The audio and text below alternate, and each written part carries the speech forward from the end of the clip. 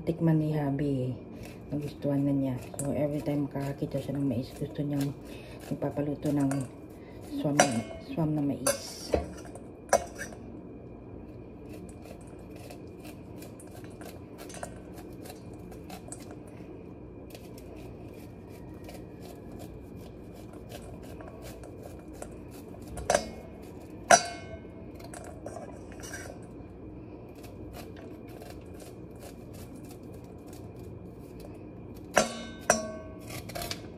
Ayan, tapos kunin natin yung pinakakat, pinakakatas niya. Ayan.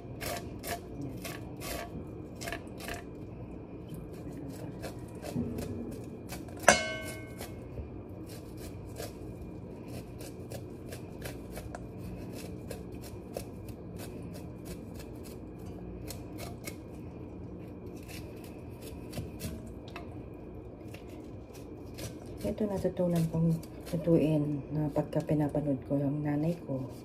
So, kaya marunong ako magluto nito. Magaling na cook kasi ang mother ko. Ayan, may lahing kapampangan kasi. Kaya, masarap magluto ang nanay ko.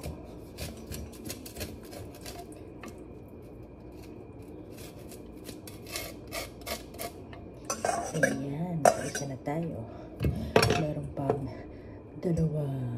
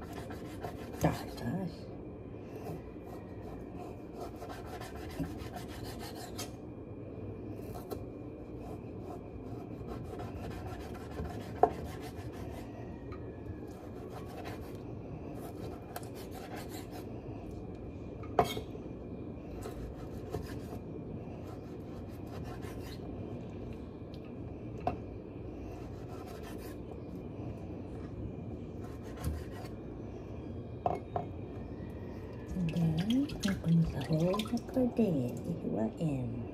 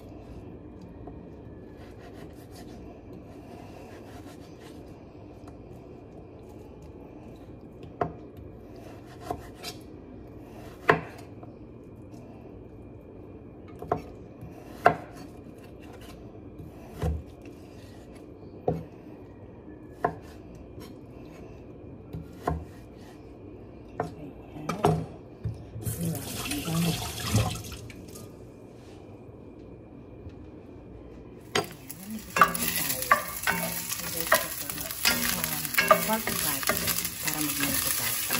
Gagamitin natin ito na kamantika na. Sabay na natin lang parang pitaroon. Sabay lang natin siya at mantika. Ito yung mga ingredients na hiniwa ko na dati. Ang bawang, sibuyas, tapos yung pork fat niya, konting karne, and then hipon, and then ito yung ginayat ko kanina na mais, and then ito yung pinagkakulay niya na ampalaya. Ang mahal na ampalaya ngayon, tapos uh, ang konti-konti lang ng dahon. Sana magkano ko kahapon 35 pesos. Humingi na lang sana ako pinakabayo. Libre pa. Hindi ko na ano. Ayan lang yung nakuha ko ang konti. Sina sinagad ko na lahat na tanggalin yung nakalagay dun sa isang bunch ng ang palaya na nabili ko kahapon. Binili namin sa may bandang Yuping yan. Ayan ako. Ayan. Kung makikita niya, nagmamantika na siya. Hindi ko na sinambihan muna exhaust kasi baka hindi tayo magkaintindihan. Maingay kasi. Ayan. Maglalagay din pala ako ng shrimp cubes. Kasi nga, dahil nga shrimp flavor siya. Ay, pork pala to. There's my shrimp. Ano to, beef. Chicken. Ay, wala na akong shrimp. There's my shrimp. How about you? Ito, shrimp. Ayan. Kuha tayo ng one piece. Ay, bus na siya. Ayan, bus na. Alam ko meron akong extra dito. Ito shrimp. Oh, sabi ko na eh. Ayan, ayaw ko na uubusan ng, ng, ano, ng stock. So, maglalagay tayo ng shrimp cubes. More, baka naman. Itong basurahan namin, puno na. Yan. See? Ayun yung tangkay ng ano. Uh, ano pala yan? Ang konti-konti. So, one, ayan. Yung mantika niya.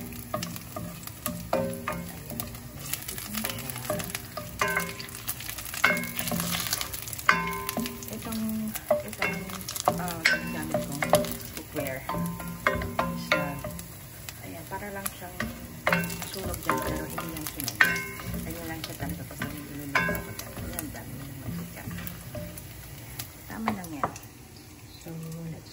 帮忙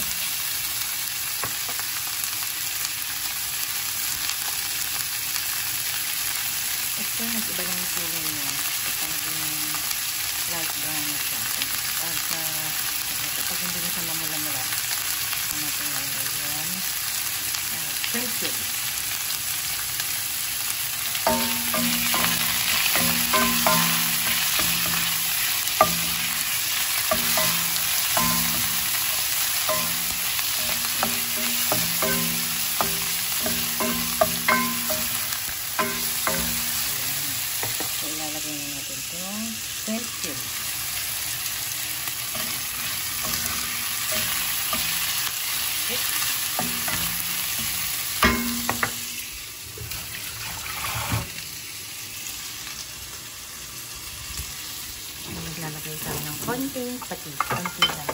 Kaya lahat ng ano, nilalagay mo ng label. Konti lang. Tingnan medyo maalat na yung yung konti.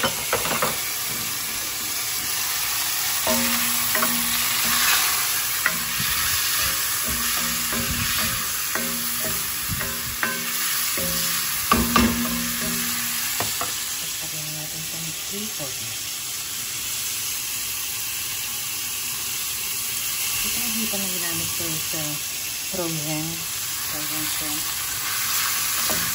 Ano pa sa mga namin sa steak.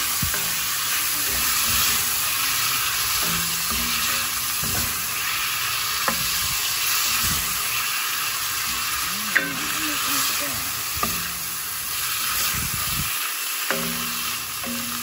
Dali lang siyang lutuin, kaya lang matagal yung pag-prepare niya. Tapos lagay na natin ito. Mhm. Nagalala, sasabihin natin yan. Yun yung pinaka-favorite niya.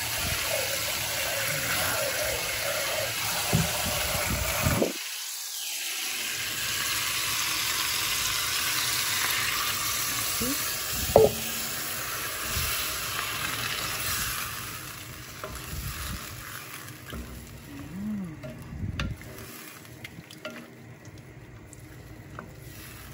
Tandaan pa natin siya ng water.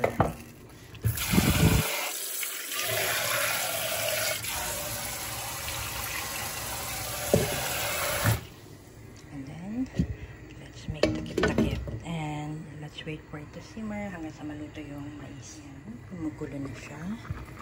Ayan. Hihinaan natin ang apoy.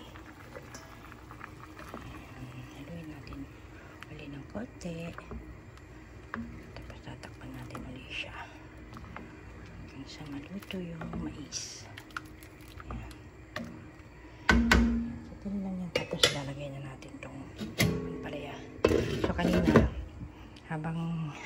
Nilinis ko na yung dito. Nalayo ko ng may mga nakakalat. So, hugasan ko na yung yung sangkalan.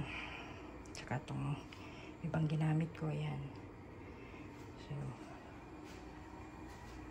ayun na siya. Hintay lang natin siya maluto. So, magpe-prepare na ako ng plates. Ito.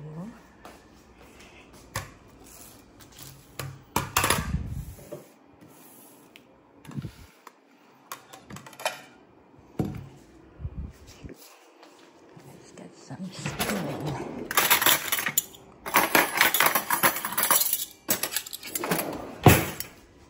Yan, ito para sa ano mamaya. Serving spoon. Hali ko muna dyan.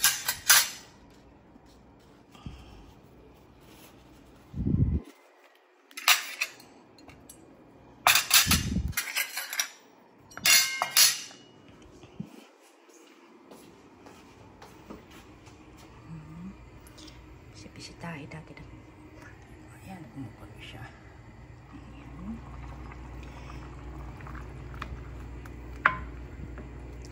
Malapit na siyang maluto. Tikman natin.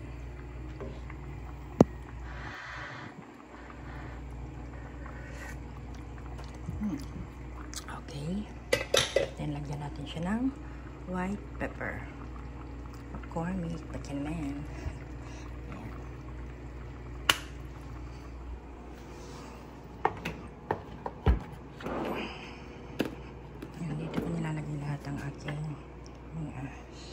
Jesus.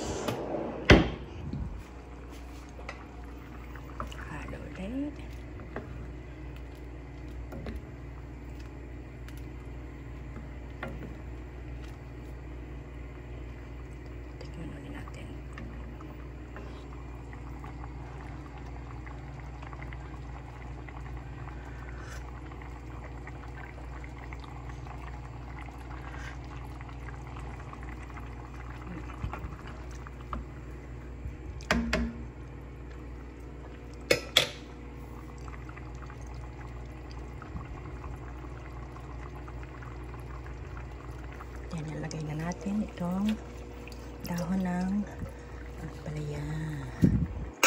Lagyan natin lahat kasi ko konti. Ayan, lagyan ulit natin.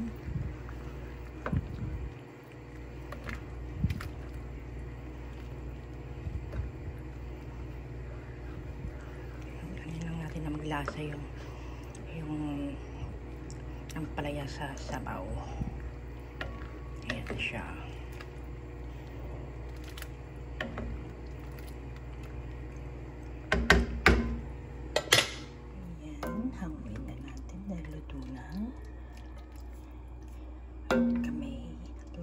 Oh.